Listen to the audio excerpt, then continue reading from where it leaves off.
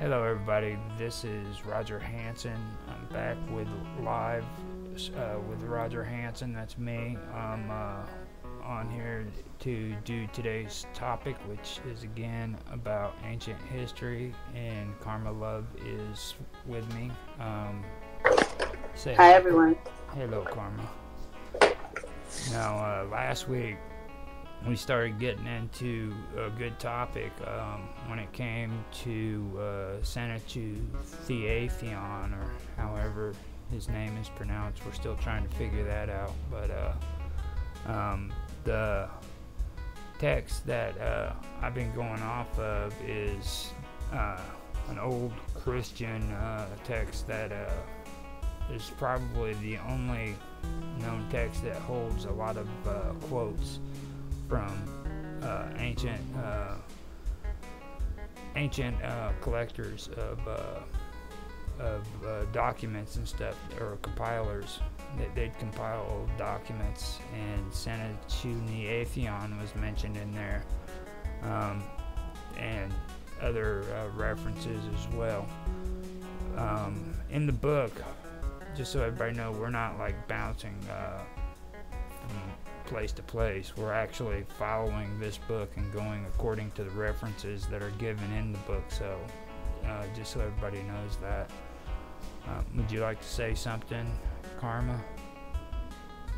Well, in regards to the book, I've just been more so focused on the podcast that you sent me. I but um I'm not aware of the book. If you linked it, can you link it? I mean, I know this is what you're doing, but I'm saying me personally not familiar with having like engaged with the book at all. So if you link me in there in the chat too, so I can have it. But okay, so yeah, this is my more thing. Um, I, I, had questions for you. I know we're gonna go in a lot because because now that I'm learning about them, some stuff brings me. to I just wanted to know how much you knew in regards if you did.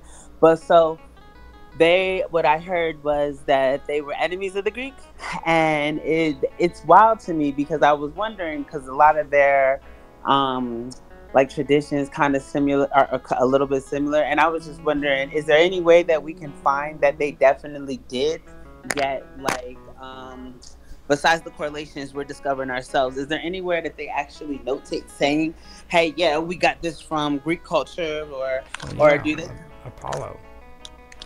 Apollo was a phoenician god before it was a greek god. Really? I didn't uh, uh, Apollo was actually the freaking uh, head of the pantheon in the uh, Phoenician uh, belief system. Like, and uh, he was just incorporated into the Greek mythology, which later he was also incorporated into the Romans. But yeah, Apollo is the, the best example. And I just started reading the Iliad. I'm sure you're familiar with it, yeah. and that, that that is it. Okay, so I had two questions because does it not parallel with almost with what you're writing as well as what we're speaking of in regards to, right? Um, because some of their names, like they have a Phibios, and I think about Philobiblius. Like it's just I don't know, is are they not like similar or are they not related? Because Philobiblius we talk about from Phoenicia, but well, the Phoenician history, but there's a Phibos, Phibos in the Iliad, and that's why I was just wondering, are they like? Now on the Iliad is uh, Philo with the Phoenicians, or is he with the Greeks?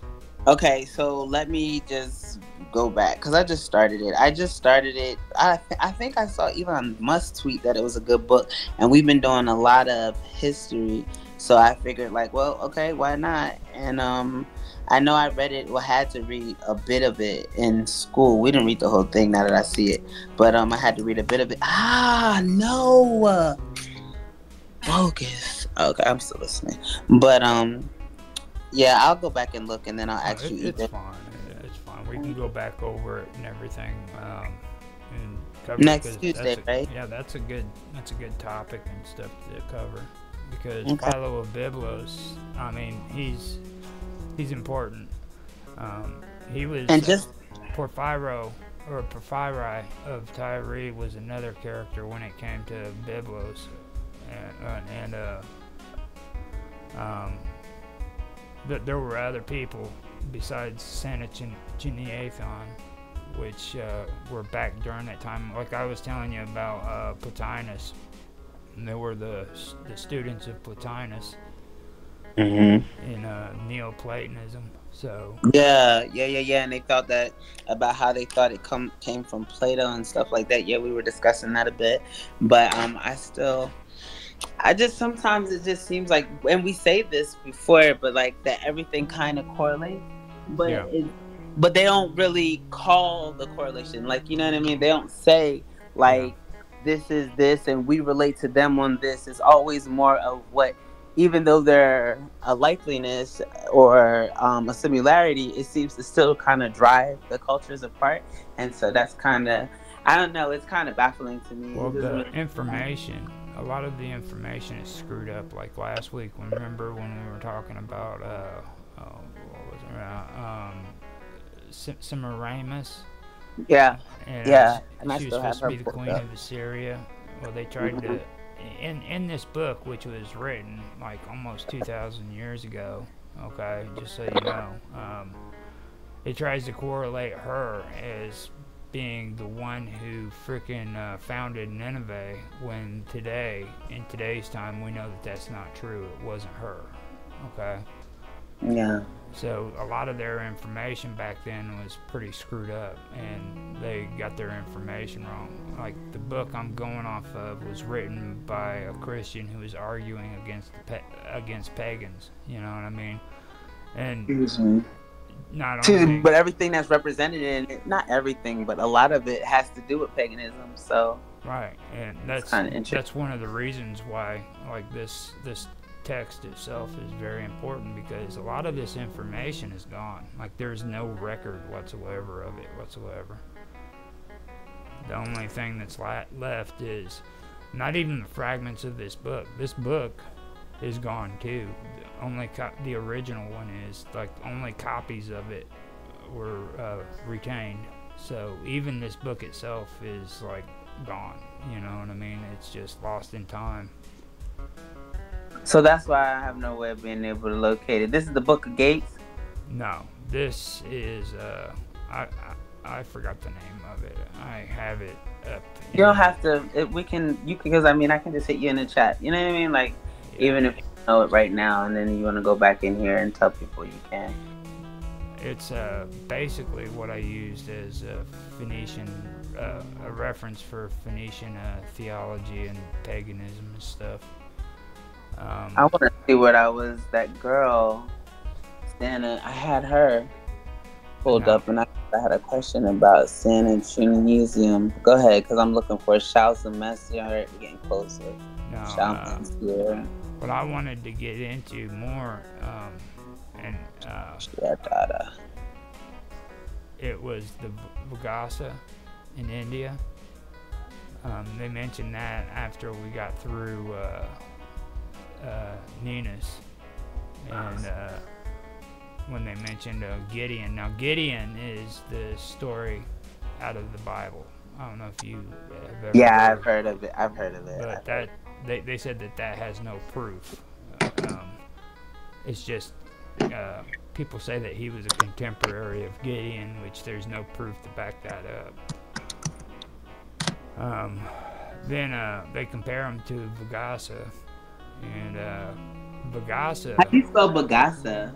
Now, that's what I was getting ready to say. Uh, I think what they're talking about is the Veda Vyasa, okay, and uh, the Veda Vyasa or Vita Vyasa was the sage who compiled the the Ve- Vedas. I don't know if you ever heard of the the Vedas before. Mm-mm. Vetus Bagasa. How do you spell it? No. V E T U S. Vetus. No? V V E D A, and it's Vyasa, V Y A S A. Oh, I see it here now. That's a writer. Okay, hold Yeah, on. He was So- the sage who compiled the Vedas, and now the Vedas is some of the oldest uh, written uh, texts. The son of the sage, yeah, I see. And the grandson of the sage. which- Okay, okay, okay. I'm listening now. Uh, what I have here says uh, consisting of a diverse family of philosophical teachings and customs. Hinduism is the oldest existing religion in the world, practiced today by billions of people and on every continent. Believed by adherents to have known beginnings or end and therefore referred to as Sanatana Dharma, the eternal way. There is no single founder, prophet, or authority of Hinduism. Having said that, one cannot fully appreciate the Hindu religion without recognizing the significance of the sage Veda Vyasa, who is widely revered as credited and credited for compiling much of Hinduism's most prominent and influential spiritual texts, including the Vedas, the 18 Pur- Puranas, and the world's largest epic poem, the Mahabharata. The Mahabharata. I keep saying that wrong when I read it. The Mahabharata. The Vedas, translated as knowledge in Sanskrit, are a collection of hymns uh, presenting key Hindu teachings regarding the divine, deemed eternal truths. The Vedas were passed down via the oral tradition for thousands of years before Veda Vyasa is believed to have compiled them in written form. It is said that the philosophy of the Vedas was further developed and explained by Vyasa in the Puranas and the Mahabharatas, which also includes the Bhagavad Gita, known as the Son of Song of God. Hindu text says Vyasa was born during a period of time known as the Dvapara Yuga, which is said to have ended roughly 5,000 years ago. According to the Vedas, time is cyclical, divided into four ages, yugas or yugas called Satya, Tetra, uh, Treta, Dvapara, and Kali. The yugas we we're in now, which is the Kali. Because the yugas move in a cycle from Satya to Kali and then beginning again in Satya, a different realized soul is born in every yuga cycle, specifically for the purpose of preserving the Vedas in written form. Thus, Veda Vyasa is the title or position much like president, mayor, or chief, given to the particular sage specifically empowered by the divine to compile and classify the Vedas at the end of the Dvapara Yuga. and that's spelled D V A P A R A. Um, Veda, Veda Vyasa of the current uh, particular cycle of yugas was born to Satyavati, the daughter of a fisherman. During her youth, while performing her job of ferrying travelers across the Yamuna River, Satyavati met a great sage named Parashara. Becoming attracted to each other, the two went to an island where they could be alone and ended up conceiving Veda Vyasa. The legend says that being no ordinary soul, Vyasa was born that very day, grew immediately into maturity, and was given the name Krishna Dvapayani or Yana. Krishna meaning dark, and Dvapayani meaning island born. Okay, so listen, K, right? K Krishna. Yeah. Yeah, I know. There's a. I know of Krishna. Um, like people pray to her. She's like a deity that people pray to worship. Mm-hmm. Krishna. Yeah. And that that means dark, and then Payana, meaning island born. um, now, that would most likely mean that uh, this man was dark skinned and he was from an island, maybe somewhere off the the shores of India or somewhere like that. That's usually how researchers find out about things because like these texts will leave little clues behind. You know what I mean? Yeah. So. That's what I'm here. It's talking about said to live of a hermit um through Manvantara though became immortal. I don't know. Okay, he's determined to live the life of an ascetic. Vyasa no. Determined to live the life of an ascetic. Vyasa left, but promised Satyavati he would return if she ever needed him. As Providence would have it, Satyavati later became the wife of the Emperor of the world, Shantanu, and had two sons with him. Unfortunately, Shantanu and the two sons died, leaving the kingdom in need of a king. Without an heir to their throne, other hostile rulers threatened the stability of the kingdom and the world, and so Satyavati frantically searched for a solution. Remembering Vyasa, remember Vya, remembering Vyasa's promise, Satyavati called upon her firstborn and, and asked him to beget children with the widows of her dead sons. Vyasa agreed and thus conceived a son with each of the widows, as well as one with a maidservant, producing three sons in total before returning to his ascet- asceticism. Asceticism. Uh, yeah, asceticism. Yeah. It's good. You did good. Hindus, mm. no Hindus take away many lessons from Vyasa's life. First, first and foremost being his determination to serve and look after the welfare of others. From the moment he was born, he felt no desire for personal material pursuits and instead chose to live a renounced life of spiritual discipline. Hmm.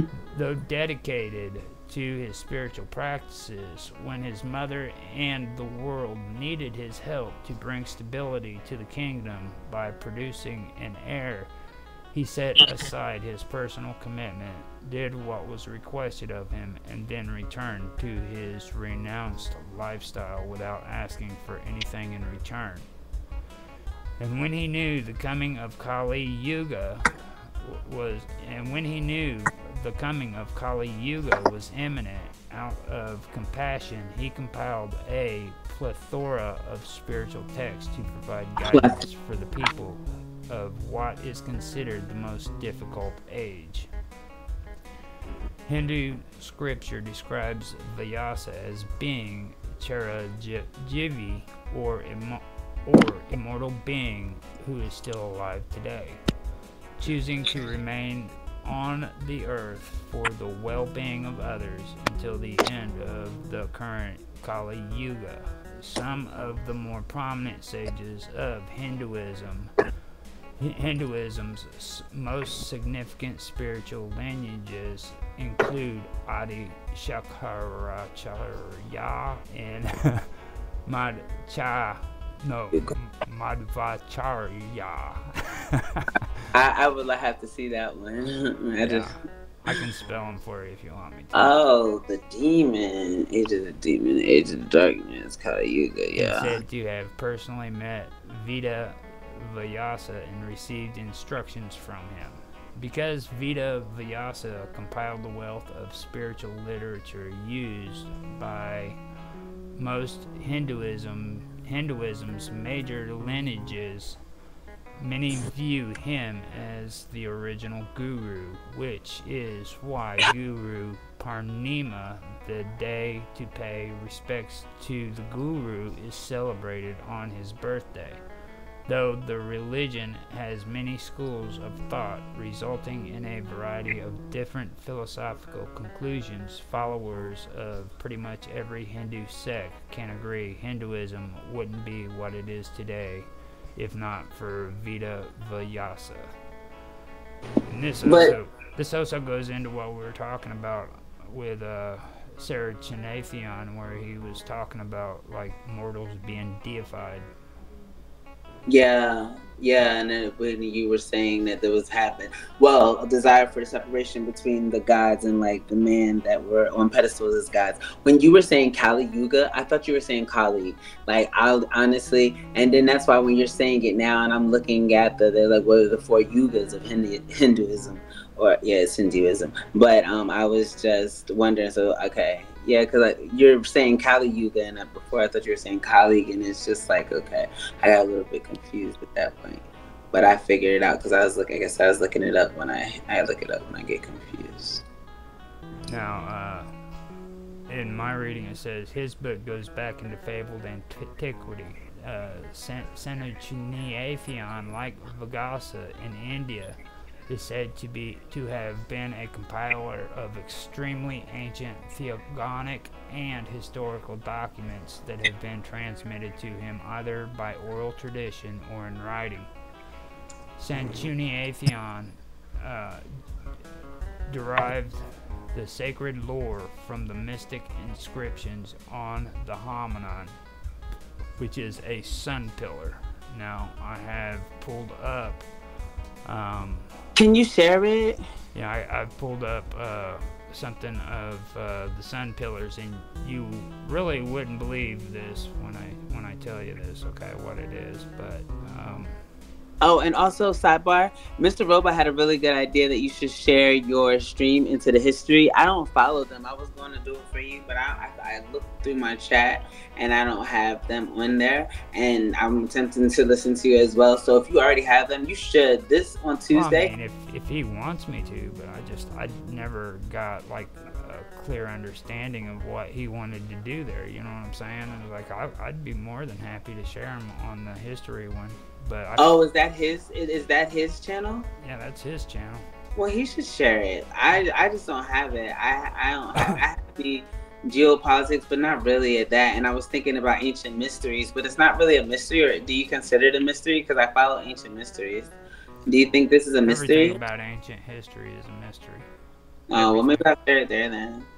Now, uh, believe it or not, the best way to do it, and it helps out with what you were wanting to do uh, a little while ago, you were wanting to talk about uh, about the Catholic Church. Okay. Yes, and I was yeah, I was just asking now, you because uh, I'm learning more. I don't me, know. Let me tell you a little bit about these sun pillars. Okay. Now, yeah. Now, um, when you dive into the sun pillars in paganism, uh, they have you can come up on uh, an an article. It's uh, from uh, RomanCatholicism.com, and it's called "Paganism in Catholic uh, Church." Now uh, you can find that on Paganism in Catholic Church uh, slash Paganism in Catholic Church with uh, RomanCatholicism.com. And hold on, hold on, hold on, hold on, hold on. I was sharing a thing. Go ahead now. Um, Roman paganism, Roman. Do it again, please. Um, oh, I see it right here. Paganism, Catholic Church. Hold on, I'll just look them up. Paganism and Catholic Church. Hold on, this is something different. This is I'm gonna find that on the website you just told me about. Yeah, I'll, I'll pull up the first, or I'll post the link into the chat. Yeah, can you do that? I just dropped all my stuff. Paganism. Go. I'll just I'll just do the chat real quick and post the link over on the side. Just hit that link right there. Okay. Oh no, cause okay, I'll do it on that. Yeah, I got it.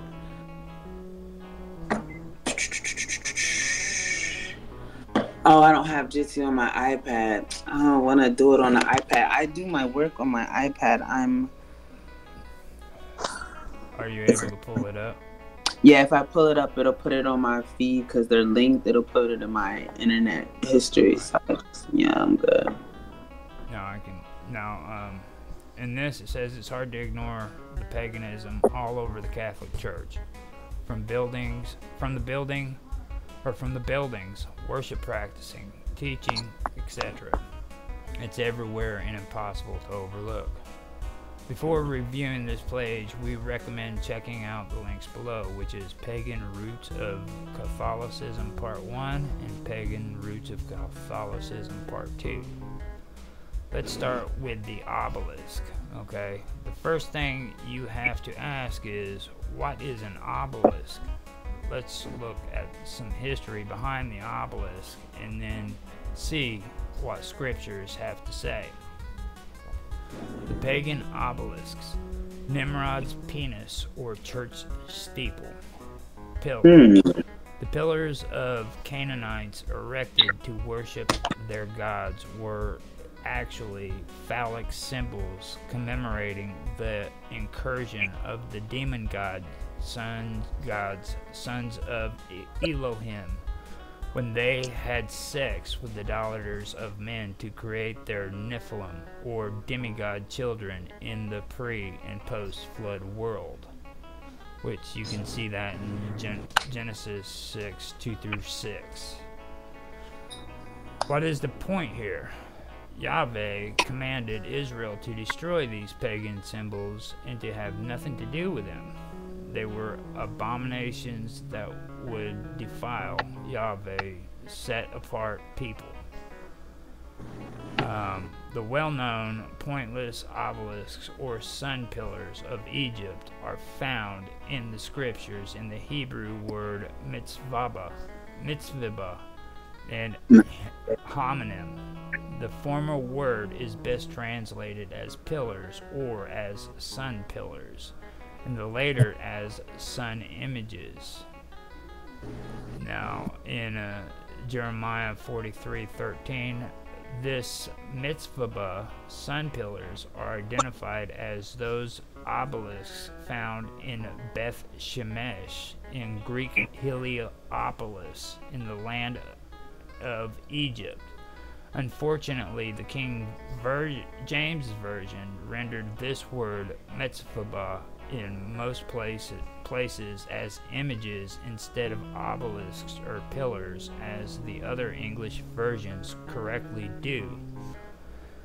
In Exodus 23:24, Israel was commanded to break down these pillars of the heathen nations. He repeated this in Exodus 34:13 and Deuteronomy 7:5 and Deuteronomy 12:3. And in many other places in Scripture, these pillars or sun pillars are epith- uh, uh, no, emphatically described as an abomination by our mighty one. Israel was not only commanded to break down these pagan pillars of sun pillar or sun pillars, they were strictly commanded not to erect them. Deuteronomy 16:22 and Leviticus 26:1 in in Deuteronomy, okay, now 16:22, our mighty one says that he hates them. However, the Catholic Church has one in the center, center of the Vatican. This can't be more offensive to God. Statue. I'm reading. Now, that is the the what, what they're talking about. Uh, these obelisks are what they. I'm not gonna get much farther into that because I don't want to get into. Uh, No, no, no, no. I understand. I was just. Well, I mean, for me personally, I don't want to get too much into religious uh, debate. You know what I mean? So Right. uh, the the whole point of that was um, because they were talking in this writing about uh, about the homonym. Okay, a homonym is a sun pillar, and um, They're saying that God said to get rid of those, but they kept it anyway. And yeah. Right? Yeah. That's what you just read us, right? I was Yeah. just making sure I understood it before you moved too far ahead. I thought you were going to explain further. So I was just making sure, like, what I hear is basically, yeah, what I heard. It's okay. You can go ahead, whatever you were going to say. I was just making sure I was caught up. Now, they say that uh, on these uh, pillars, okay, these uh, sun pillars, that is where uh, Sanitarium would go and he would take notes on uh, Sanitarian. He would take notes down on what was written on these uh, ancient pillars. You know, when it came to uh, when it came to the sun pillars, you know, the lore and everything that was written on them, basically. Sanitarian or yeah, some Sanitarian. Right. same person, right? Okay, I was just making sure I have it. Thank you for straightening me out on that because I uh, have a hard time saying those that name. If ever you get tired of reading because you read a lot, I don't mind helping you. I mean, like, but I'm not saying like put it on me. I'm just saying if you'd like, you know, what I mean, to take over for a little bit or any time, just tell me. I mean, you know, what I mean, it's your show. I'm just here because you teach me a lot, and I don't mind helping because like I come all the time. So you know. It's it's good. If it gets overwhelming, I'll I'll definitely have you do it even if like before the shows you want me to read up on some stuff and stuff like that if you tell me that i'll do it you know what i mean you just would have to tell me i do what i can as far as my interest sometimes my interest is a little different than the content matter anyway so you know what i mean like yesterday you sent me through um, that you you talked about the snake guy and we were talking about your book mind you and like i went from there to like a guy that has the same last name as me. Like it was just a big, big, big like you like so it's like I hear what you say, but I hear other stuff as well, if that makes any sense. So I'm saying if you tell me, hey, can you or will you or I'd like you to, then I don't have a problem listening to you. You know what I'm saying? It's no big deal. It's just a matter of sometimes my research is a little different. Yeah, I know. And like uh that that's perfectly fine, you know what I mean? Cuz like what what I do want to do is like what you found uh, the other day or today that you mentioned. I do want to go over that. You know what I mean? Because that's that's pretty good, especially when it comes to freaking uh, Phoenician history and stuff. And when you was talking about like Apollo, or when you was talking about things that can prove it, you know. Um, Apollo is a perfect example. You know what I mean? Apollo was actually the first. He was he he was uh, one of the freaking uh, gods in the freaking Phoenician uh, pantheon. Now that you're reading uh, the Iliads, you're going to hear the story of uh, the city of Troy. You know what I mean? And all the Phoenician gods, they'll explain to you which ones were the Phoenician gods and which ones were the Greek gods. Okay, so it'll make it make more sense. Well, then I have to indulge. Like I, I found more free time to that I guess I was not utilizing to read, and I'm like, oh, I can use this time to read, and then so like, yeah, I should be reading a little bit more than I have been. So hopefully that works out for us. Because I'm going to just pick your brain. Anything that I have questions about, I'm going to ask you. Mm-hmm. So that's know. fine. Now, uh, most of the lore and everything in the mystical inscriptions, he. Uh, derived from the hominin, which is what they referred to it as, and they're called the sun pillars. And those are those obelisks. They have them in uh, Egypt too.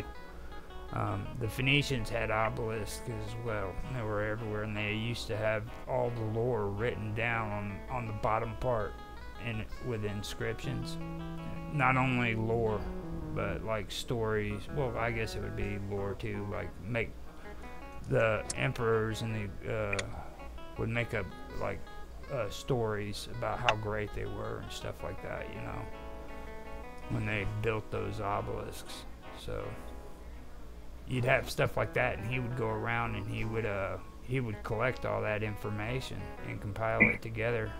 So now uh, the sun pillar uh, it, it stood in uh, Phoenician temples and uh, Porphyry of Tyre, you were talking about before.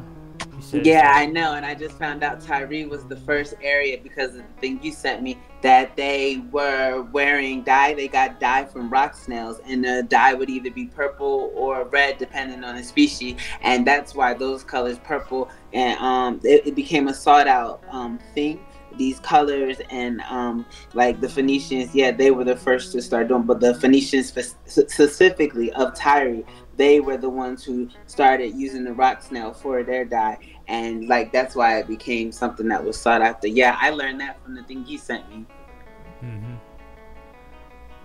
Now, porphyry, says that Sanchuniathon wrote a history of the Jews based on information derived from Hierombalus, i.e., Jerubbaal, a priest of the god Yahweh, i.e., Yahweh, which is the Jewish and the Christian God. He dedicated it to Abel Baal, Abel Baal or Abibal, king of Berytus. The, the, thought, the story was thought to be uh, fi- fi- fictional. Oh. F- fictional because of its reference to Berytus. However, excavations in Berytus in recent years prove that the city may be older than Byblos.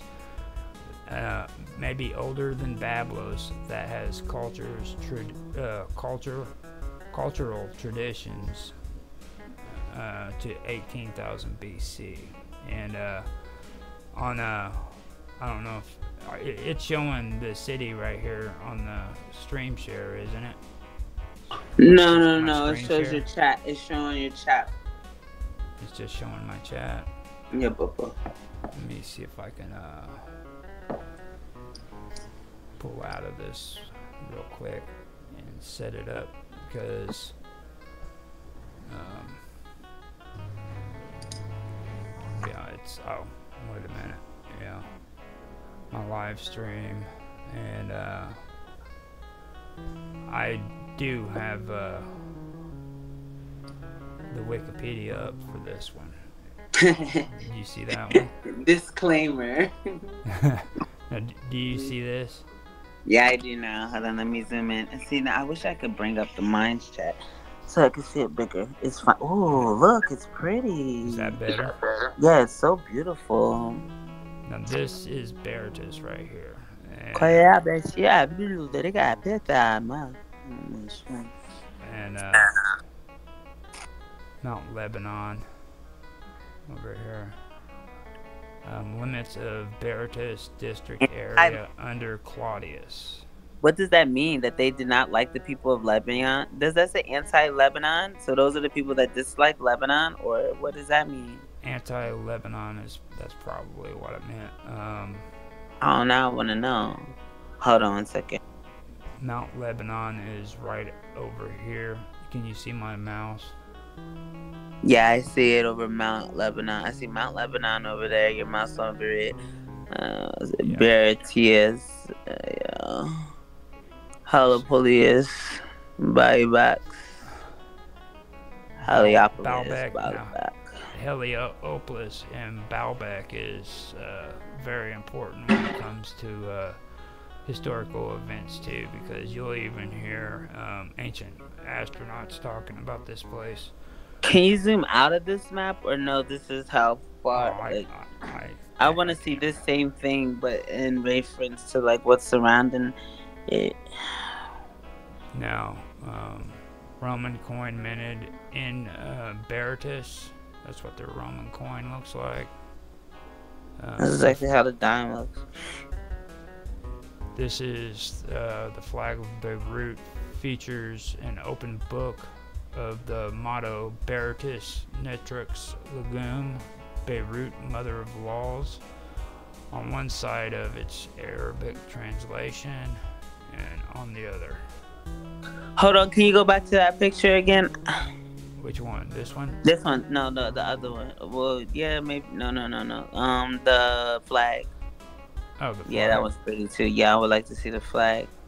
Oh, yeah. Oh, go back. Now, see that? That's Thank another you. thing. Remember earlier on, I was talking to you about standards. Yeah.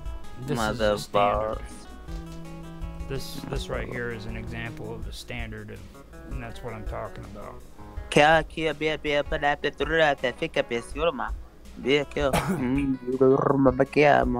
Hey, um, can you go back to the um dime too as well, please? To the what? The dime. Well, it's not the dime. That is incomplete. This right here. Yeah, Yeah, yeah, This is a Roman coin minted in Berytus. Okie dokie.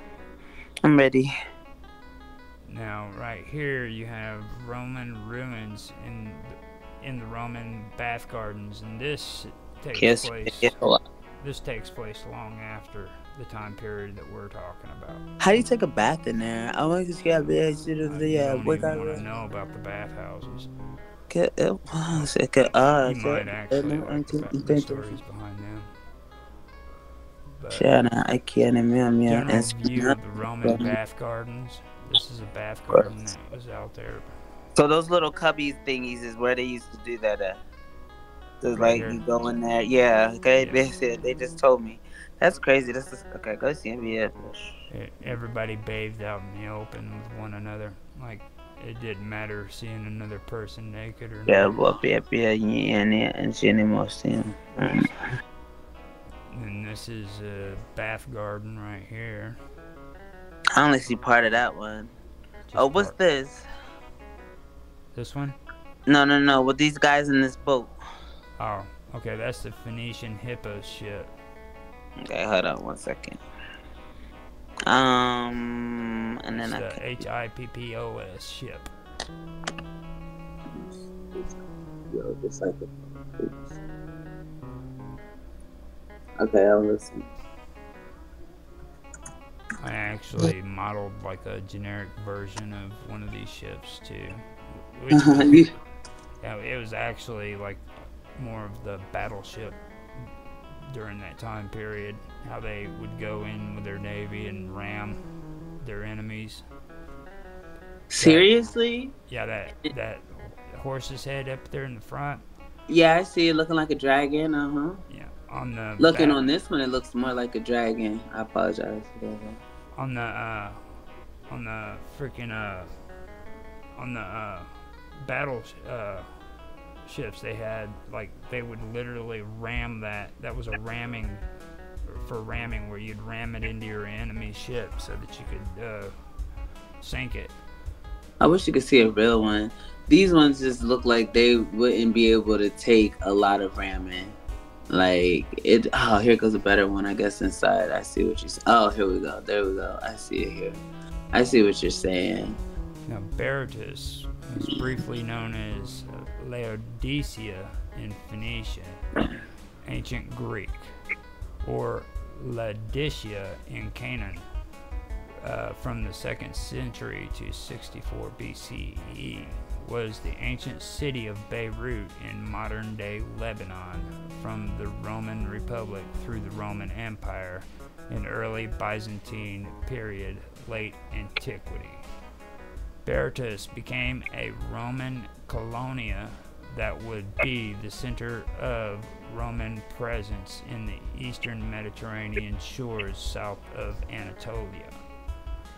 The veteran veterans of two Roman legions under Augustus were established in the city, the 5th Macedonian and the 3rd Ga- Gallic that afterward quickly became Romanized and was the only fully Latin speaking city in the Syria Phoenicia region until the 4th century. Although Berytus was still an important city after earthquakes around 400 CE, Tyre was made the capital of the Roman province of Phoenicia of the great law schools of Rome, Constantinople, and Berytus.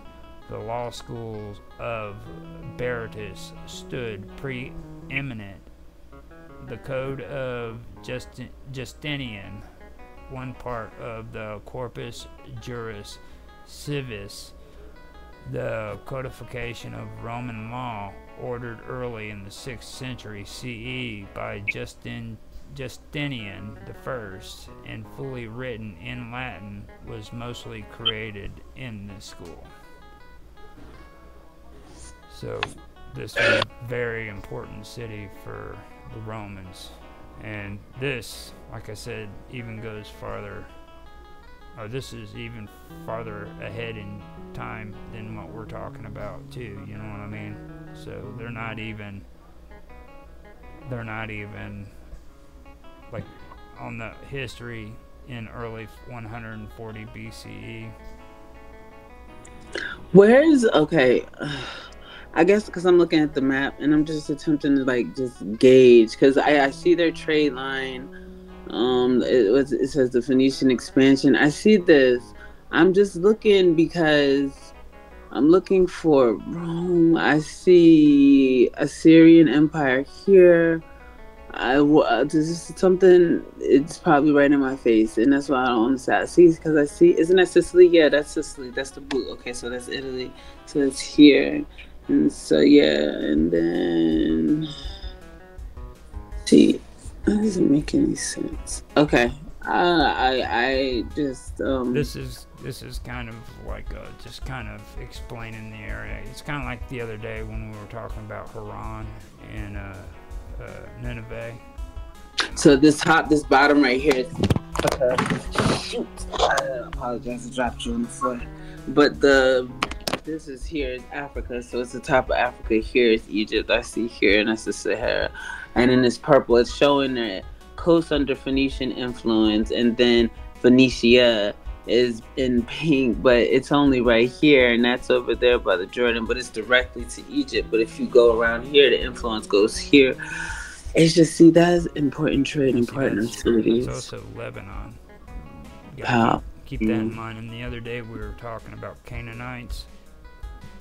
Yeah, yeah, yeah. I just read something about the Canaanites, but my brain's all joggy now. So go ahead. What were you going to say? Oh, I'm I'm just having a conversation with you right now. Because I was thinking, I thought you were gonna tell me, I thought you were gonna tell me something about the Canaanite because it was something recently. But I'm reading, like I'm probably just reading too many different things at the same time. But I, um, yeah, okay. Now, uh, yes. now this goes back to what I was talking about. Uh, Porphyry of Tyre says that Sanchuniathon wrote the history of the Jews based on information derived from Hierombalus, i.e., Jerubbaal, a priest of the god Javo, i.e., Yahweh, and that would be the Christian and Jewish god. He dedicated it to Abibal or Abibal, king of Berytus. The story was thought to be fictional because of its reference to Berytus. However, excavations in Berytus in recent years prove that the city may be older than Byblos, that has cultural traditions to 8000 BC. And see, they're also finding out more evidence too about cities in that area, like Jericho. Um, they they believe that Jericho might even be older than some of the old Sumerian cities that were built. I don't know that guy that you do that guy that you that does the this podcast. I just saw that he has Sumerian stuff, so I'm gonna listen to that as well. But I gotta. So okay. If you've already done this, I apologize. If you have not done this and you're unable to do it now, I can wait. But I'm going to put it out here so you can understand where I'm going. So, like, we talk about the Sumerians, we talk about the Phoenicians, and then, like, I'd like a way for me to, I guess, better understand, like, direct correlations of these cultures and influence like okay i see here the trade lines they had like copper and marble so i can understand the influence. Influence now influence today's significance type thing. And then okay dyes brass metal work gold slaves oh and that's what we were talking about. And then you were even talking about the trade federation the trade federation but that that's that's supposedly well, in that's, space that's but it's i know. though.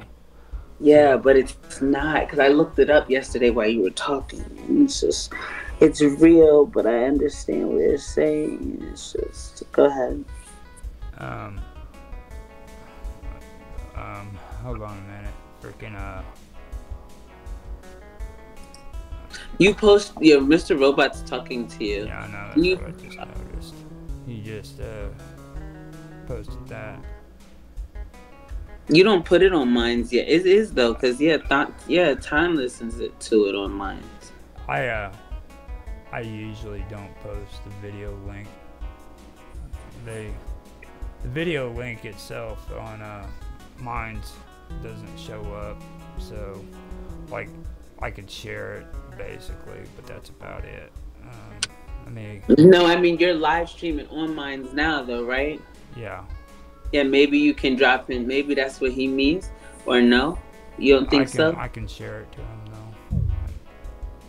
You there? Maybe I suckered him into joining. I don't know. Come on now. Did they just do what I think they did? Um,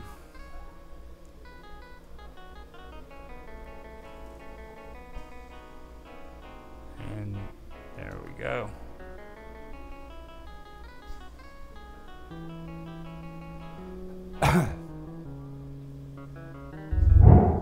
yeah, they had me signed out again.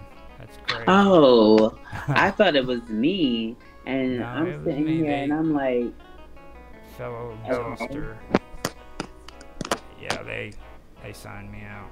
They, I ended up having to sign back in. They, I got kicked from it, but uh, I heard a doorbell. That sounded like it. Like, dude, like it sounded like you logging out. I guess I could imagine what logging out would sound like. That's the, like. yeah, anyway. it was pretty messed up. They they literally knocked me into another jitsi room. I got, I caught on to that because of the other day. So At least you understood quickly, yeah. Because I'm the phone. My phone's just sitting down. I dropped you once and I moved you. So yeah, but I got it. I got it all back up and running now. So I caught up, I caught on to it quick. Let me see if the yeah the stream's back up.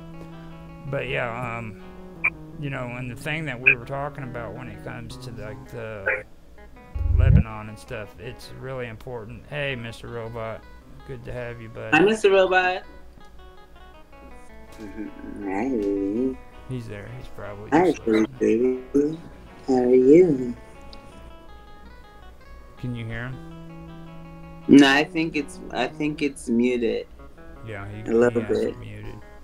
But uh, Hey, it's uh, well, Hmm. with uh, um, Yeah. the Phoenicians and everything though in Lebanon, um, the whole thing about the Canaanites. When it comes like to the relationship between the Phoenicians and the Canaanites, it's very important that you have to understand both uh, cultures. You know what I'm saying? Because they they uh, intertwine a lot, and uh, like the term Canaanite is also misinterpreted a lot of times too. You know what I'm saying? To the extent of. To the Like, extent where freaking people think they're nothing more than mercenaries and freaking retrobates. Philistines. I always wondered if the Philistines and the Phoenicians weren't actually the same people. I I honestly I- think that could be a possibility. To be honest with you, I, I agree with you on that. That's something I've been thinking about too. It's that, that's Um, there was another interesting thing. uh, Just sorry to, to interrupt, but um, there was another interesting thing where um, the headdresses of the Phoenicians uh, were also documented in South America. So they there is that possibility that they actually crossed the Atlantic. Um, so there's these statues in um, in uh, what's the place in Mexico uh, City, uh, near near there, called um, Atlantis de Tula. I'll send the link soon, but um, the headdresses look the same as the supposed sea peoples that attacked Egypt at the end of Ramses II yeah. and uh, yeah, I just find it interesting. Like, What that, did you say the um, name of them were? What- Atlantis So I have this working theory, right? Let's see where it goes. But my my working theory is that there was a place called Atlantis, as Plato had stated. Um, he got that information from his ancestor Solon, which got it from the ancient Egyptians. The ancient Egyptians told him that this place Atlantis existed 12,000 BC in the Atlantic, where the Azores Plateau is today. So between South America and Africa, okay? Mhm. And it would have been the perfect vantage point for any naval dwelling people um, to go international, uh, to go around the planet, basically. you know, because they you'd be able to easily cross the Atlantic if you could stop at the Azores Plateau, right? Because back then it, we were in the ice age and the sea level was like 400, 400 feet less, uh, uh, lower, 200 meters lower, and um, basically that the the Azores Islands, and you know where the Azores are, Kama? I'm looking it up now. But I was asking you, did you say Atlantis Uh, what? Say You again. said in Mexico it's a place called Atlantis what? Oh yeah, Atl- uh, I'll send the link. Atlantis de Tula. Um, Oh, the Tula. Um, She's good at At search Atlant- engines. Like, like she'll she'll try to search it out before you send the link. So yeah, I already see it. okay, okay. Well, Atlantis D E. Uh, sorry, Atlantis space D E space Tula T U. Yeah, no, I already have it. You don't have to spell it. I already see them. I'm looking at the pictures of them now. You don't have to spell it. I already got it. Thank you. Okay. Yeah, I just cool. was because I was attempting to tie it into what we were saying. So, So, we were saying that notice those statues, right? And look at the headdresses Yeah. on those statues. I see what you're saying. And uh, later on, we'll we'll show you pictures of the sea peoples, and uh, they like s- some of them had similar headdresses. Okay.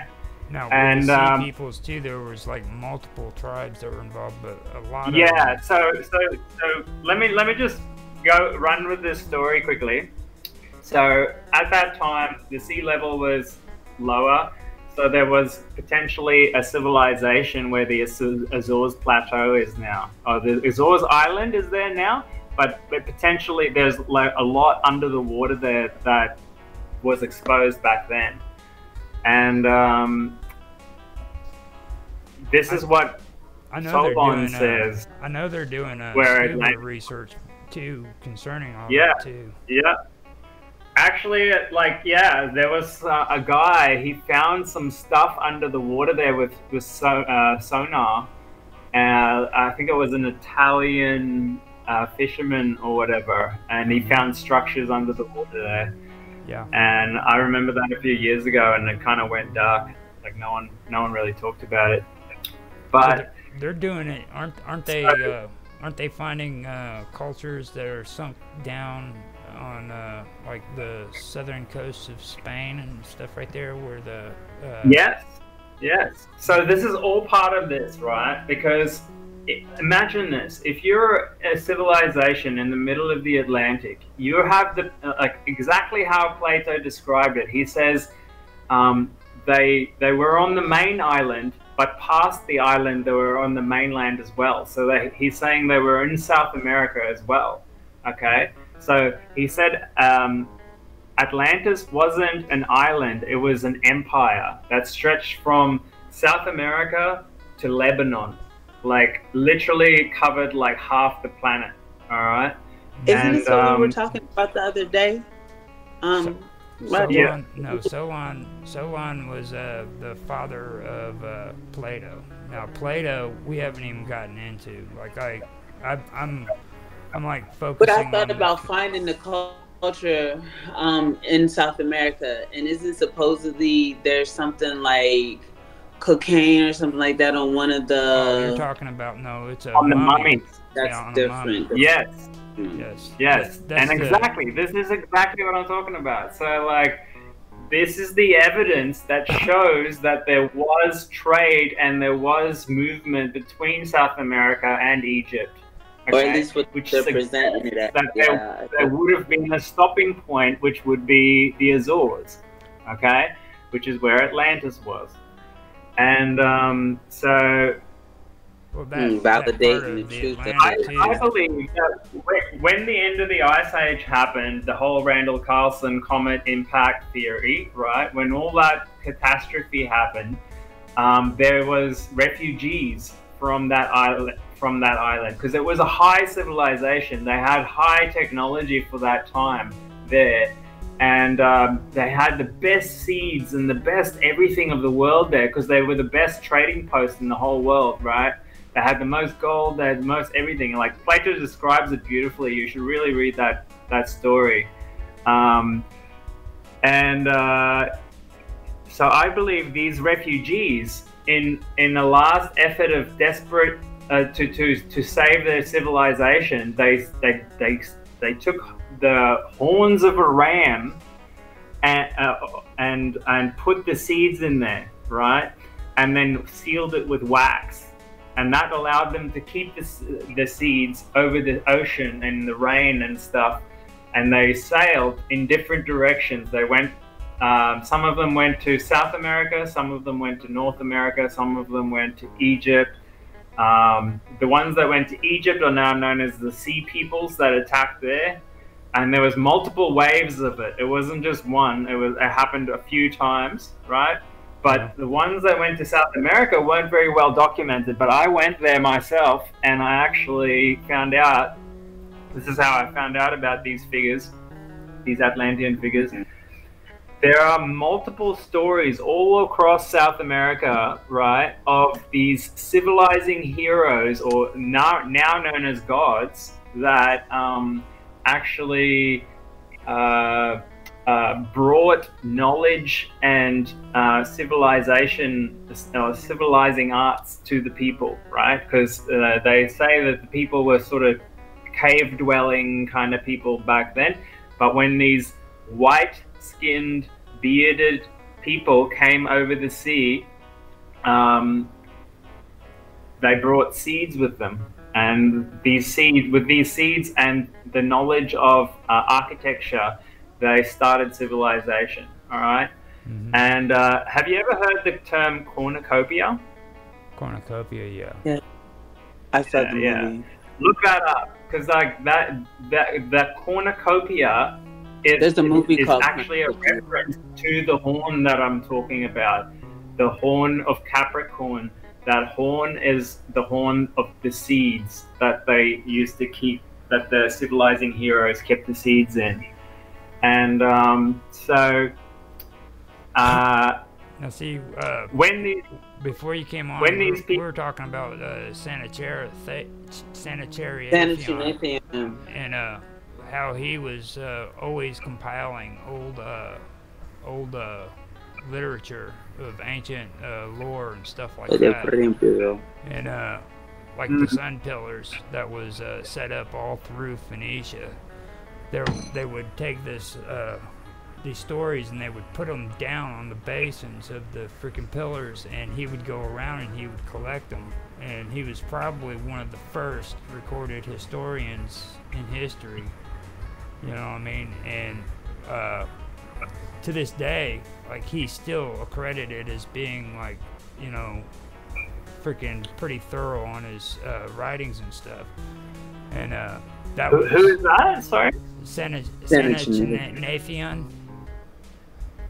Okay, can, Karma, can you send me a link or, something? Like, I okay, so can I ask you a question too first before we get too far from what you were just saying? Because I was already um, looking at this because you were talking about the correlation in the Phoenicians and trading over here in yeah. South America. Yeah, the as okay, the Atlantis or the Azore Plateau.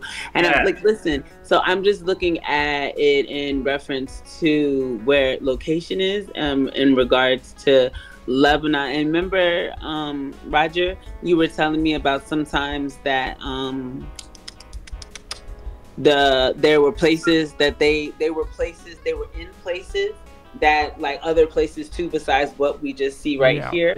Like they're yeah. uh, so Baalbek. Baalbek in uh, Lebanon is the example of the Atlantean structures that used to be there. so like before the, the cataclysm what she's referring to is the Phoenicians had a very, very uh, large uh, area for distribution. Like they could, the, their reach was pretty broad. You know what I'm saying? Like they've even got stories that could possibly link the the Phoenicians to actually making it to England at one point or another. And that's what she's yeah. talking about and I'll yeah. take that yeah. copy of. I'll just uh, copy and paste the name of the guy I was. And, and and how is it right? How is it that the Phoenicians had this high technology of naval travel, uh, and you know, so early on in the piece? The they only were... explanation really is that they inherited that information from somewhere else, from a previous people, right? Mhm. And see, they had power. very They well had done. power even before the Greeks did. So, it, I mean, Yeah, exactly. you know, their Yeah. influence was. Because they inherited it from Atlantis. They they are actually the descendants of the Atlanteans. So they are one of the refugee um, refugee um, waves of refugees that came to the mainland, right? Um, And that's why um, they never really settled in one place. They kind of traded and, and, and went around the place uh, because they they came from somewhere else. You know? Now, I pasted the uh, name of Sanchuniathon in the. Uh, Oh, I was gonna send them the link. I was just looking for mines because I have so much stuff. I have Sharmans, I have the Phoenicians here, then I have Heron City, Shalzemaster. Like I had Neoplate, like the Mount Olympus, everything we talk about. Yeah, but Neoplatonism Where did you post the link? versus Neolithic. Um, you're gonna have to give me like a few more minutes because I haven't gotten it yet. It's in my. It's. I'll tell you. Like I'll share it. It's in my history. Roger, Roger, did you say you posted the link? yeah, No, it's the right here. name. It's in the Jitsi chat right there. Just uh, copy and paste. Oh, it. Jitsi chat. Oh, okay. I'm not checking the Jitsi chat. Sanchuniathon. He posted the name. Yeah. How He how do I get to the posted- Jitsi chat? How does that work? Are you? Ah, It's the little you're on Ah, Jitsi. like right? message thing on the bottom. Yeah. You the- see on the bottom if you Uh, scroll yeah. where you can Ah, mute yeah, video. Look, you see mute video. Yeah, no, and I then got it, I the got it. Yeah. Okey-dokey. Now, uh, And it's Nathan. That's not him. Sanchuniathon. Uh, Okay, so, so just just before I lose my my my uh, spot there, um, all all I was trying to say is I'm suggesting that the Phoenicians descended from the Atlanteans. Also, I think the um, other examples of people like that are the Basque people of Spain, right? Yeah. How they have they're that language isolate uh, in Spain. I think that's an uh, an injection from refugees from Atlantis as well. So I bet, I, I would bet that there would be similarities between the Basque language and probably Phoenician language. well, with the Basque, it's also I- DNA too. Like their their I've never looked into it. Their genetics are unique. Yeah, the genetics is interesting to look at as well. Yeah, for sure. And I, I wonder if the Hebrew people were also, um, because they were kind of very entwined with the Phoenicians, um, you know, and uh, I, I also believe the Minoans. So, like, I found the Sea People's story really interesting because they, they specifically named these different Sea Peoples, right? yeah. And one of ones. them I I could identify as the tribe of Dan. Okay, because uh, the name it sounded very similar, and uh, I'm, I'm pretty I'm pretty sure of it. See, uh, a And lot of uh, the archaeologists and historians, uh, they actually say that uh, where the region is that Dan comes from, which would be up around Anatolia, okay, they actually say freaking there there are parts of the sea people that did originate in that area. So, mm, so um, um, now like uh, Noah, okay, like you know you know of Noah's tomb, Yeah. right? Okay, that that's like Exactly. maybe that's like maybe 20 miles away from freaking Mount Ararat. Okay, not, a lot of people don't know mm, that. They, they have no clue that Mm. it's like literally 20, 30 miles away from Mount Ararat. And that's in Saudi Arabia, right? No, that's up there Or- in Anatolia. That's right there in freaking uh. That's right. Well, in today it it would be freaking Turkey, but at the time it was Ah. the Arar- Urartu, and Yeah, yeah, yeah, yeah, yeah. back with the Assyrians Um, and the Urartu, and now the Romanians are claiming that the Urartian uh, history actually belongs to them, and that it was taken away from them because Turkey was made into a country, which a lot of the area they had, like Mount Ararat, was actually ran by the Urartu. It was controlled by the Urartu, so there, there's a big What- thing going the on. Urartu? Huh? Who's the Urartu? The Urartu was a civilization that uh, they were, uh, well, after the Phoenicians and after I, I, I would. It, it's hard to explain. Like you had the Hittites, okay, but then you Hmm. had the Urartu, which was before um, all of the Hittites and everything, and the Urartu Okay. They, they were uh, kind of uh, integrated into uh, the, the Minoans. Or, Really? yeah, I've never heard that name before. Ur- yeah. Urartu. Here, I'll spell it out to you. Urartu. Urartu. Now that goes to a. Here, I, I could probably just pull it up. Oh yeah. The Urartu Kingdom is basically what it is. Wow. Huh. And the Urartu Kingdom uh, took up a pretty wide uh, span too. Is that coming through? Yeah, Uh, from the Uh, not, if you're Euphrates. share, not if you're sharing your screen. No, no, but if you're sharing I don't see it. Huh, Yeah. And Interesting. It's just the So chat. it's Can you put it on your screen? Yeah, I can screen share it. Uh, let me let me screen share this real quick. Um, image for the Urartu. And there you go. Okay. go. Can you see it? Yeah. That is the Urartu, and that And it's is a uh, Let's see. That's the see. kingdom that was eventually. I'm thinking it's the. Uh, uh, it was the. Uh, not Minoans. I, I keep wanting to say that because it's American, but it's not. It's uh, the My- Mycenaeans. They're the ones that integrated in with the freaking Iranians whenever. Um, uh, These are Per- all Atlantean uh, when Persia as uh, well. developed into the empire it was. But these guys ended up integrating into uh, integrating into the Persian Empire basically, and it was more up in this area, up around Ana- Anatolia, right here. Okay. Yeah, can you guys see my mouse? Mm, mm, mm, again. Okay, up there, up there. You know where Anatolia is, right? No. Okay. Up Anatolia is. Let me see if I can get on the action. Now, can you see my mouse? Yes. Okay, Anatolia is this area right here that I'm circling. Okay. Now this is It's like where- Turkey.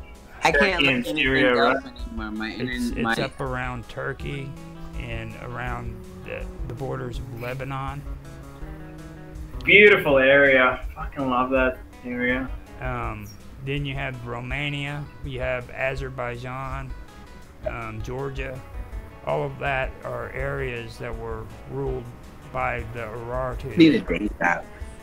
And the Urartu stretched all the way to Mount Lebanon.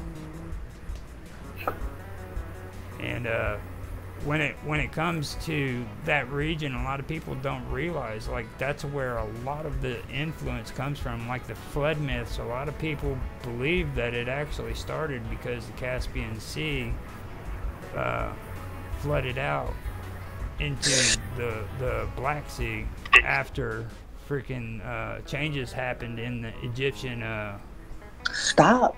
in the Egyptian continent or the African continent. Man, You know. I can actually give you a little bit of insight into that. Um, the so that that area was also known as the Garden of Eden, right? Back in ancient times, it was called Eden. Yeah. Okay, because the whole area was the most lush, Huh. green area on the planet, right? The, pl- Uh, fertile. because there was so much water there. And what happened was this big catastrophe happened where uh, a tsunami came up the Mediterranean and hit that corner there of Mm. A- A- Anatolia where you just um, circled, and it go. Can you go onto Google Maps um, with the like with the satellite view? Um, let me. I'm having issues getting on my search engine, but I can get it. You as well? Hmm. Yeah. Interesting. It's. I think it's becoming an epidemic because I'm, I'm, hearing, I'm hearing a lot. it of was just people- at the top, there, Yeah, I know. It's here. It is. top middle. Yeah. No. Where you want? Okay. See if you can get satellite view down the bottom left. Oh, satellite. Yeah. Okay. Scroll out to Anatolia I just type it in. or you know Turkey.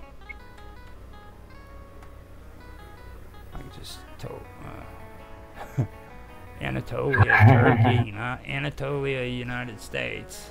Anatolia. Anatolia. It's Uh, there it is. it, It's- it- yeah. It had it in your yeah. there we go. Okay. So so zoom out a bit. All right. Zoom out. Zoom out some more. Some more. Yeah. Okay. Look at where it's at. Now see. yeah. Zoom out more. Zoom out even more. Oh my God, what do you want to do to me? okay, I got you. This is about as far as I can go. You there? Check up a little bit now he muted. Yep. Can you go back out again, please? Guys, just get me this guy, man. This is about as far as I can go on here. Yeah, that's good. It's just looking at no. Now see, Can you scroll in a little bit, please? this is Syria right here, okay? Yeah. That's Lebanon. Now, Assyria was this whole area right in here. Turkey, right here. This is Anatolia. Um, Georgia, Azerbaijan, and Romania, which is or Armenia. Sorry, the Armenians. These were the basic areas for the Urartu with this right here as well. This is Van, okay? And Van is where you find the uh, mount, the mount, uh, oh god, what was it? It's a, I I keep, this is the mountain that I was referring to.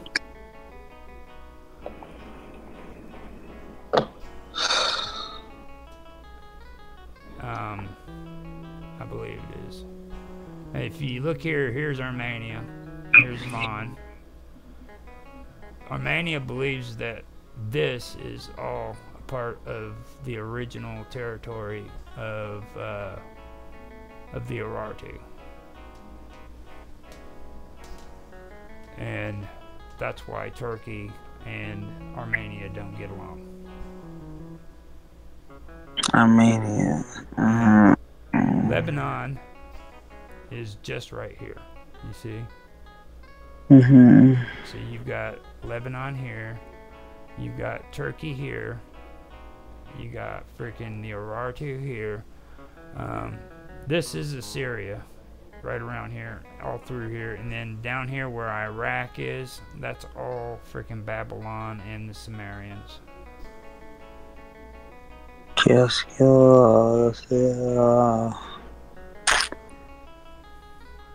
and Israel is all the way down here. Now he was talking. ab- he was talking, and then he freaking went off. So I don't know. Yeah, you got muted. I think he got cut off. Can you hear me? There he is. Are you there? Hello. Hello. Yes, we can hear you. We got the map up.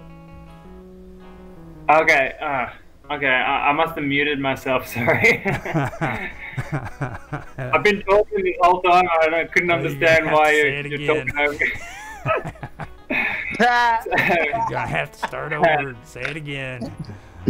That's Alright, so Why are you my point was, you can actually see the scars in the landscape geologically um, that these ancient tsunamis caused um, when that when those big floods happened of the flood myths, right? Uh, Karma, do you know the flood myths we're talking about, like Noah's flood, that kind of thing? So Oh. if you zoom right back out again, I want to show you guys how to look at this. Okay. I want you to put your goggles on for catastrophe, massive catastrophe. So, like, zoom out even further back to the whole planet. This is as far back as I can go. Yeah, that's perfect. So notice how um, it's all green except North Africa, and then it bleeds out into like Russia kind of area. That's the direction that the, the the tsunami went, right? So like where the Azores are in the middle of the Atlantic, there, that's where the comet hit, and and the comet hit um, the ocean there, and it hit Canada where the Great Lakes are and um, the tsunami backfired up between Portugal and Morocco. It went up the Mediterranean and hit Syria. And it went. The tsunami was so big, it went all the way up Kazakhstan, um, all the way up into Mongolia, and you can see how it just ate out all the topsoil of that whole area, right? And then it, and then it rushed down and it actually killed the the Indus Valley civilization next to India and Pakistan, and um, that's why that whole area today is desert up in up up in, up in Africa because of this big tsunami that hit it like uh, 12,000 BC, and um, like, before uh, that it was all just, it was all green. You know, there was no desert, now up here on, Sahara desert back in the Mongolia area and the Kazakhstan and all that, that's also referred to as the Russian steppe. So you also have to take that into Yeah. consideration too. Like if there Can, was can you guys see how, what I mean though by like Yeah. how the color bleeds out into that direction? You can almost see the flow, right? Yeah. You can almost see the flow going in that direction. Now, see, I, I was also uh, made aware of the fact that, like, up here in Egypt and Libya and Algeria, um, all of this area was actually a beautiful, lush forest uh, environment, swamp environment, and there was water and everything all through here. And uh, That's right. up here where uh, Italy and Greece and all this is, there's a harsh mountain terrain here called the Alps. Okay. Now, what happened is, is platelets from this area down here actually started uh, freaking pushing, and this area freaking started changing. And Africa actually became bigger because freaking it was shoving uh, this uh, plate into the freaking southern part of uh, Europe and creating those mountains. But you see how it used to be hooked together? You can see how the boot of Italy kind of goes down right here into this space right here if you move it down some. Do you see how it locks together? Do you Yeah. see here? Yeah, that's crazy. You can see that it's a puzzle. Everything about the planet, if you look at it, okay, look at all of this and tell me that it couldn't fit together like a hmm puzzle. Especially like the And you Yeah, can you also can see see where it goes how, how um, catastrophes have shaped the landscape. For example, the, the Gulf of Mexico, the reason it's a horseshoe shape is because all that water that got melted from the comet impact had to run down, um, run down. See, see how it scarred the landscape there, all that rocky bits, and then it goes down into that horseshoe shape. Um, so if you if you just zoom out a little bit more, Mm. a little bit so you can see all of North America. Yeah. Okay. Uh, see how like where ca- the Great Lakes are in Canada. Um, up there, that, that's where there was two miles of ice back uh, on top of that landscape, and that got vaporized or like melted by this comet impact, and it rushed down to the Gulf of Mexico, and it caused all that uh, the like the um, what are the the Grand Canyon and all that stuff got made by this vast amount of water that had to run down into the Gulf of Mexico, and it ate it out like that horseshoe shape there. Oh, you can see. And, it. uh, Now, uh, that goes back into uh, Randall, what he was talking about with his uh, theories. I know the last stream I seen, he was researching some of the stuff going up by going on up by the Hudson Bay, and uh, he Yeah. also he also believes that these Great Lakes right here were actually the result of uh, impact, but he doesn't really have Yes. any hardened proof of it yet. You know what I'm saying? He he. he- Well, it's right in the middle of. He's got evidence. He's got a lot of evidence. Uh, it's right in the middle of the debris field.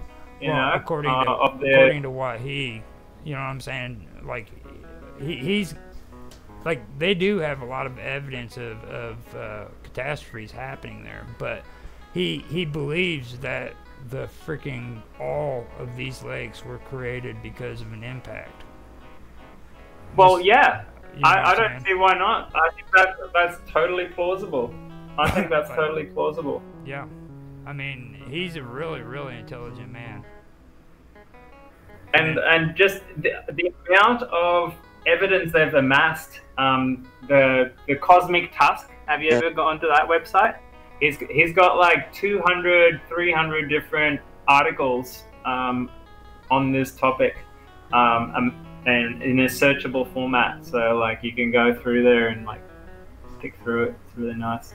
Now, uh, you, when you're talking about uh, the sea people too, and uh, the Phoenicians and Atlantis, yeah the one thing you, So they came have to out- you have to realize too, though, is Malta and Tripoli. Okay, now Malta is a major point when it comes to the Phoenicians. Now, a lot of people aren't aware of that, and Tripoli Ah. is is also a, a very important area that you have to look at too. Um, Tunisia, all of this, all of this was a part of the Phoenician, uh, uh, basically the Phoenician Empire. You know what I mean? I can't wait to go there one day i've been to gibraltar before Yeah. um, That that's. i've a seen the rock of gibraltar Yeah. And now Malta is a very, very interesting story behind it. Like these people, the natives of Malta, just ended up there. They have no idea how they got there. They themselves have no idea how they got there. yeah They don't even have freaking to this day. They don't have boats that are freaking strong enough to freaking make it even to uh, uh, Palmer, Pal- Palermo. I mean, and all that. They they have no idea how they got there. Yeah, Malta is a bit of a mystery, eh? Um, well, I think a lot of those islands, uh, like for example Cyprus as well, the the Yeah. um, the Minoan, Tyrus, you know, uh, the, the the Bronze Age civilization, they were all like refugee waves of Atlanteans that that came and settled on these islands, and um, unfortunately some of them got wiped out. Now I, Um, I believe this is the area that um, I was talking about where archaeologists are coming out here in uh, it's on the south side of Spain on the other side of uh, Gibraltar now it's uh, up here by uh, Elva Port Umbria this whole area they're starting to find remnants of freaking old uh, cities ports that had literally collapsed into the freaking water that was once here. And then up here on the, the shores they're finding freaking evidence that it had uh, dr- dried up and that there was actually water in this area here too at one time. And um, there was actually ports going out there as well. It's it's what you're saying there. That's that is very interesting stuff. I've been actually checking that out too. I should probably not even be discussing this, considering it's about history. That's what today. Well, this is this is all this is all history, man. To to say something, you know, But Just I'm- because I we mean, don't I have- am I am interested in it. Don't get me wrong. the the the, the Just fascinating thing about history is like most of it is undiscovered still. You know, so like we're still discovering these these histories, and we're trying to push it further and further back, right? Because Yeah. there's only so much recorded history. It's the unrecorded history that's difficult to get to, right? Well, a lot of And people you- have a hard time with like the concept of how much unrecorded history there is. Like, like everybody thinks that all the information is recorded from even 300 years ago, and that's not even true. Like, there's crap loads of information that's just not there from two, 300 years ago. You know, so like in that aspect, I mean, there's a lot of lost history in, in modern history that's just gone. Totally.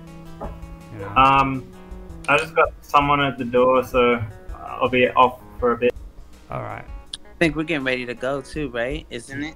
Yeah, it's it's getting to the end of it, but um, while we're here though, I can actually show you something though. Um, you were talking about uh, how how far did they actually ex- extend to? Yeah, that's what I was looking at. Now, um, My internet started, my my browser started glitching, so I couldn't look anymore. Troy, actually, the city of Troy is uh, the best. Let me see here. The city of Troy is up in this area somewhere. This is uh, the part where the uh, mysterious sea people was supposed to have come down from to Hmm. Egypt. And Troy was from this region right here. And uh, you had the Phoenicians in here. They stretched all the way down to here. And they went all the way across the northern continent of Africa to Morocco. Now, they had this area, and they believed that they were actually able to come up the coast right here and make it to the southern shores of London. Hmm. So if they could make it there, then possibly could make it over there to South America, where Mr. Robot was talking about as well, on those wooden horses that you just showed me. Now, since we have it open, this is what I was trying to tell you the other day. Now, they figured out whenever it came to discovering America again and uh, traveling to America that instead of coming this way like they did the first few tri- times, Mm-hmm. all they had to do was come down to Africa and then shoot across this area here up into Puerto Rico and Cuba. Okay, can you go back? How did okay? How did they used to do it? I had it zoomed in too much. Can you do it again? From where? To, yeah, I had it From zoomed. Portugal Yours and good. from, say, England. Okay. Mm-hmm.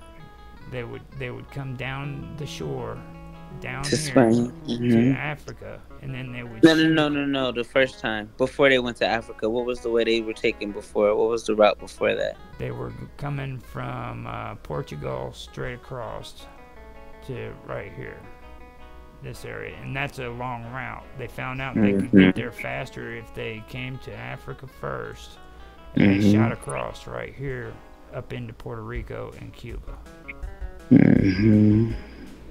you see Yeah, I'm yes, mhm. because you have uh, you have currents, all right, and these currents they come down like this, and then they shoot up here. They create a tide here, and it goes. you can see the tide. hmm And that's that's why I was saying that it would make sense that they could. Poss- there, there is a possibility that Egyptians did make it to South America because that's the easiest route from the African continent to the Americas. Mhm. And that that's that's even recorded in in known history. You know what I mean? That's that's how ships would uh, do their trade routes is by that route right there. So I always thought that was pretty good. Um, let me see how much time we got here. Yeah, we're at an hour and a half now. So, um, we can end this and then tomorrow we can get back into this right here if you guys want to. Yeah, that's cool. It's strange. It's strange. Hey guys, I'm gonna have to bail. So um, thank you very much. I appreciate. I'm glad Uh, you the showed insight. Up. I'm glad Yeah, you thanks for up. coming in. I appreciate that. Thanks. All right, brother. Catch ya. See you, later. Kama. See you later. Robot. Have a good night. Be safe. But yeah, um, that was that was pretty good. Um, we uh, actually got to get in some extra stuff because all the stuff that I'd gone over was already finished by the time uh, Robot got in here. So the rest of Oh, that was cool. that the rest of that was extra. It was pretty good Yeah. too. So Yeah, it gives you something to consider, something to think about. Yeah, so that's good. well, it's like Then we can incorporate it next week, maybe if you Well, can see, get it. the- the the thing is is like with Atlanta Atlantis though I mean that's something that I'd like to incorporate like tomorrow you know what I mean like Okay, because like uh because it's a strangeness thing. Because Yeah, it's still something. Yeah. I mean don't get me wrong I am interested in it but I mean like today's about history you know what I'm saying I get what you're saying, like the cold hard facts type more so stuff that you're not cold hard, but definitely the ones Yeah. that have been extremely researched. Atlantis is still more a little bit of a mythical type thing. So it's but it's strangeness because it's not a conspiracy. It's really hard evidence that it's definitely present Well, and there was never how much there was never a conspiracy sur- uh, surrounding surrounding it. Yeah, that's what I'm saying. That's why you would talk about it it tomorrow. was- like you said, it was a mystery. You know what I mean? It's a mystery. strange. Yeah, a strange mystery. That's why it makes sense to why you want to talk about it tomorrow. Yeah, no, I was just saying I understand. It doesn't fall into any other category, but that and could this, but more research would be required for it to be for this. I'll tell you what, we can talk about it tomorrow too because it kind of fits into what we were getting at too because we were talking about Cayce and uh, Cayce was one who was a hard, he was 100% believer in uh, Atlantis. So Oh, do- cool. We could do that tomorrow. Alrighty. And uh, we'll get off here and uh, freaking I'll see you tomorrow, okay? Yes, sir. Have a good night. Be safe. Thank you. You too. And I will see you guys later. I'm going to stop the recording and stop the stream and hope you guys have a good day.